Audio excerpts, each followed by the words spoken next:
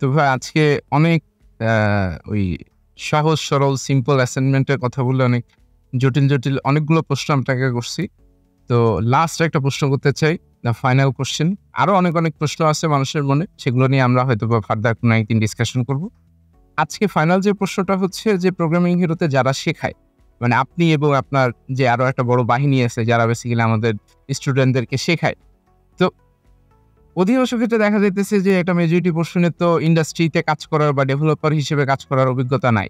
কিন্তু তারা ডেভেলপার তৈরি করতেছে বা কাইন্ড অফ ডেভেলপার তৈরি হওয়ার জন্য সহযোগিতা করতেছে কাইন্ড অফ তো কেউ নিজে একজন ডেভেলপার না, সে হয়তো বা তার হ্যান্ডজন কাজ করার এক্সপিরিয়েন্স নাই, সেখানে সে আরেকজনকে কীভাবে শেখাচ্ছে? এটা কি আদৌ পসিবল কিনা? নাকি এটা জাস্ট একটা ওই যে বাংলা খুব সুন্দর কথা আছে যে শুভঙ্করের ফাঁকি কিনা আর কি? এইটা এটা রিয়েলিটিতে হচ্ছে কোন একজন চার বছর এক্সপেরিয়েন্সড একজন ডেভেলপারকে তুমি পাবা যে আসলে টিচার হবে? আমরা কিন্তু অনেক ট্রাই করছি শুরুর দিকে। আমরা কয়েকজনকে হায়ারও করছিলাম।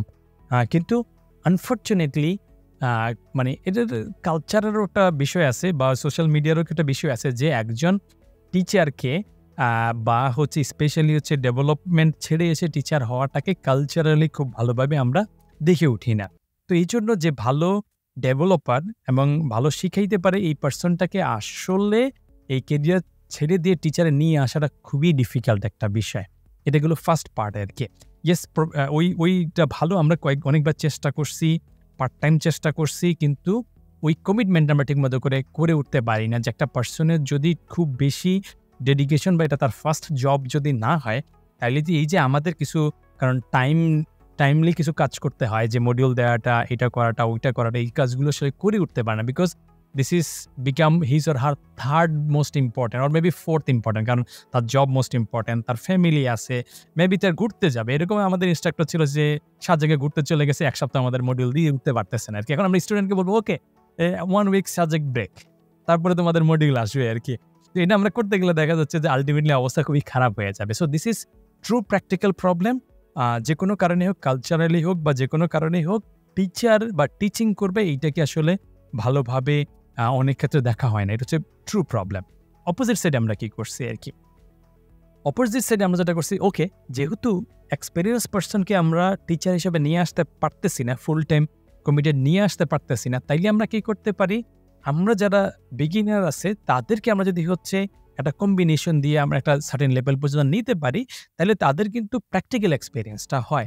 তো আমরা সেটা বাইরে আমরা এক্সপ্রেস করতেছি না, আমাদের ইন্টারনাল কিছু সফটওয়্যার আছে যেটা আমাদের ইনস্ট্রাক্টররাই করে আর কি তো আমরা ডেডিকেটেড কিন্তু তাদের সপ্তাহে একদিন, আবার মাঝে মধ্যে আমাদের কিছু গ্রে পিরিয়ড যায়, ওই সময়টা তারা এক্সট্রা সময় দিয়ে কিন্তু প্র্যাকটিক্যাল প্রজেক্টে ওরা কাজ করে আর কি সো প্র্যাকটিক্যাল প্রজেক্টে যেহেতু কাজ করে, তাহলে হ্যান্ডস অন এক্সপিরিয়েন্সটা কিন্তু তাদের আছে।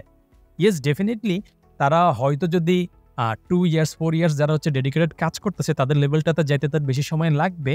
কিন্তু তারা যখন একটা এরিয়াতে এরিয়াতে ফোকাস করে প্রজেক্টগুলোতে কাজ করে, সেক্ষেত্রে তাদের কিন্তু হ্যান্ডস অন এক্সপিরিয়েন্সটা থাকে।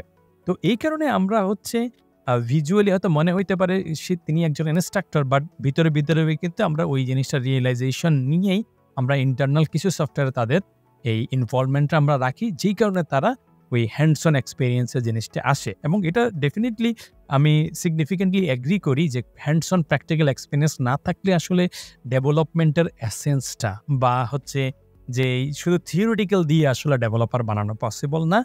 তো সেই কারণে আমরা এটার অপটিমাইজ একটা ভার্সন তৈরি করার চেষ্টা করছি। এবং মাঝে মধ্যে এরকমও হয় যে আমাদের ইন্টারনাল যেমন আমাদের বেশ কয়েকজন ইনস্ট্রাক্টর আছেন যারা আমাদের এখান থেকে গিয়ে পরে ডেভেলপমেন্টে কাজ করে এবং দরকার হলে তাদেরকে আমরা কিছুটা স্পেস দিয়ে আবার কিছু আমাদের মডিউলগুলো রেকর্ড করার কাজে করি। বিকজ যেহেতু আমাদের সিস্টেমের মধ্যে কাজ করতেছে we can control okay next দুই মাস, তিন মাস তুমি একটু এই জিনিসগুলো যদি তুমি কাজ করতেছো, এই জিনিসগুলো রিলেটেড কিছু লেকচার বা সেশন বা কিছু একটা জিনিস তুমি করে ফেলো, আবার এটা হয়তো দুই, তিন মাস পরে আবার তুমি back to your development job so এই দুইটা জিনিস আমরা মেকানিজমটা ম্যানেজ করে উঠতে পারতেছি to get the optimum version of it yes best সলিউশনটা যদি পসিবল হয়, কারও কাছে যদি থাকে যে একে this is very good developer এবং very good teacher one to be full time in teaching we definitely would be more than happy to on board that person আর কি.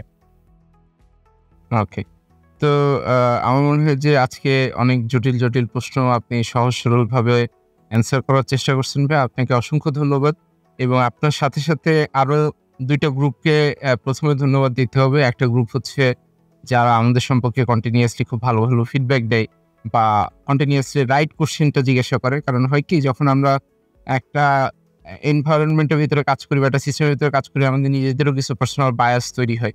সো বাইরে থেকে যখন কেউ কোশ্চেন না করে, ততক্ষণ পর্যন্ত আমরা হয়তো বুঝি না যে আমার নেক্সট স্টেপটা কী হওয়া দরকার। তো যারা আসলে খুব কষ্ট করে ফিডব্যাক দেয় এবং বিভিন্ন সময় বিভিন্ন জায়গাতে আমাদেরকে জানানোর চেষ্টা করে, আমরা খুবই খুবই অ্যাপ্রিসিয়েট করি পুরো জিনিসটাকে এবং আমরা রিজনেবলি চেষ্টা করি। যদিও সব কিছু হয়তো বা ইনস্ট্যান্টলি চোখের পলকে করা অনেকখানি ডিফিকাল্ট কারণ টেক সাম টাইম কারণ এটা একটা ইউজ অপারেশন হয়তো বা অনেকে জানে না যে প্রোগ্রামিং হিরো আল্লাহর অশেষ হতে এখন প্রায় একশো পঁচিশ জনের উপরে টিম আমরা কাজ করতেছি কন্টিনিউয়াসলি এবং প্রোগ্রামিং হিরোতে কিন্তু সপ্তাহে সাত দিন পুরো অপারেশন আপ অ্যান্ড রানিং অবস্থাতে থাকে। দ্যাটস ভেরি ইন্টারেস্টিং থিং যে আমরা রাতে ঘুমানো বাদে মোটামুটি সবসময় আমাদের রোস্টারিং করে মানুষজন বিভিন্ন সময় কাজ করতে থাকে। তো এটা একটা খুব ভালো জিনিস। তো যারা এই আমাদেরকে নিয়ে বিভিন্ন ভালো ভালো ফিডব্যাক দেওয়ার চেষ্টা করে বা অনেক সময় একটু ক্রিটিক্যাল ফিডব্যাকও দেয় দ্যাট ইজ অলসো ফাইন এটা আমাদের সামনে পথ চলার জন্য অনেকখানি আমাদেরকে হেল্প করে। আর দ্বিতীয় যে গ্রুপটাকে ফিডব্যাক দিতে চাই যে এই এত এত ধন্যবাদ দিতে চাই বেসিক্যালি যে এত এত ফিডব্যাক বিভিন্ন জায়গায় আমাদের বিভিন্ন সোশ্যাল মিডিয়াতে ইমেইলে বিভিন্ন জায়গা থেকে আসছে। তো আমাদের টিম থেকে আমাদের ইন্টারনাল টিম থেকে বেশ কয়েকজন মানুষ অনেক কষ্ট করে এই প্রশ্নগুলোকে এক জায়গায় করছে যাতে করে আমরা আজকে এগুলো সবার সামনে তুলে ধরতে পারলাম। তাদেরকে অসংখ্য ধন্যবাদ। সবাইকে আজকের মতো এখানেই আমরা বিদায় জানাই শুভকামনা জানাই। লাস্ট যদি আপনি কিছু বলতে হ্যাঁ ওই জিনিসটা ক্রিটিক্যালি ইম্পর্টেন্ট কারণ ট্রু ফিলিংসটা যেটাকে অনেক ক্ষেত্রে আমরা নেগেটিভ ফিডব্যাক বলে থাকি এটা বেশি ইম্পর্টেন্ট পজিটিভগুলো বললে ভালো না বললেও ভালো কোনো সমস্যা নাই। বরং বেশি বললে খারাপ আর কি তাহলে উই গেট ওভার কনফিডেন্ট আর কি।